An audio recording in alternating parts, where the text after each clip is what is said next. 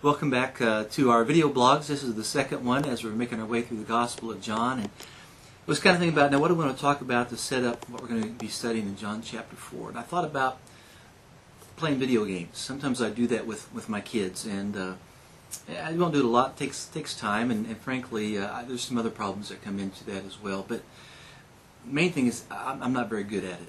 I mean, from the Nintendo 64 to the uh, Xbox to the to the PlayStations, you know, I've, done that with them, and I remember back when we used to do Rogue Squadron with Star Wars, and I'd get motion sickness trying to fly the flyers or the battle games. Always end up somehow getting my my guy in a corner, and I can't get out of the corner for the whole battle. I'm just face first in the corner, and they get pretty frustrated with me. And, and now playing Madden 10 with Joel, and I, I, keep somehow punting on first down. I don't know how I've done that.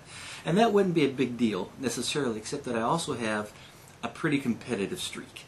And so when you got a, a person who wants to be competitive and, and they're bad, that doesn't always mean you have a lot of fun when you're playing the game. So sometimes Joel has to lean over and say, Dad, it's just a game.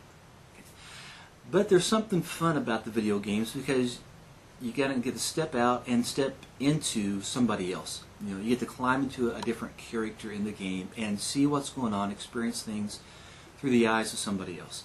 And that's what I want to encourage you to do in John chapter 4 as you get ready for Sunday.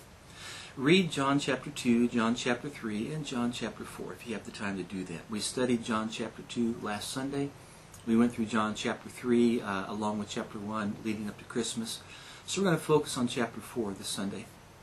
But read 2, 3, and 4, and go to the back of your Bible, find uh, a map.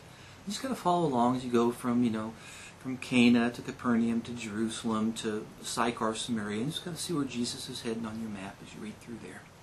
Then we get to chapter 4, this is what I want you to do. As you read through the story there, try to put yourself into the different characters, you know, one at a time.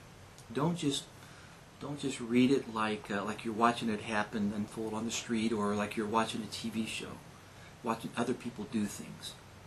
Climb into the characters and try to look at the situation and the things through their eyes.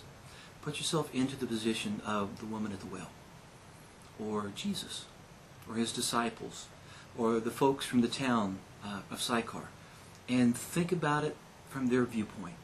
What happened? What did they say? How would they have felt? And maybe you can do that just reading through the chapter once. Maybe you want to read through the chapter several times and, and be a different character each time. But think through that.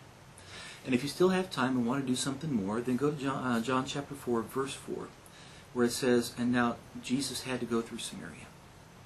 And think about why. Because most Jews, when they went from south to north, they would go across the river so they could miss Samaria, go north, and then cut back across again to Galilee. Jesus didn't have to go through Samaria. Most Jew, Jews didn't. Why does John 4 4 say that he had to go through Samaria? And we'll talk about that and a lot more from John chapter 4 on Sunday. Have a good week. John, and uh, just thinking about, you know, what, uh, what to say today. Uh-oh.